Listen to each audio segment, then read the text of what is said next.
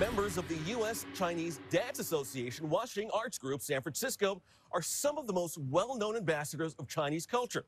Their performances encourage Chinese and Asian Americans to be proud of their cultural identity, traditions, and values.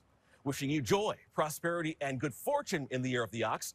Here now is the U.S. Chinese Dance Association Huaxing Arts Group San Francisco.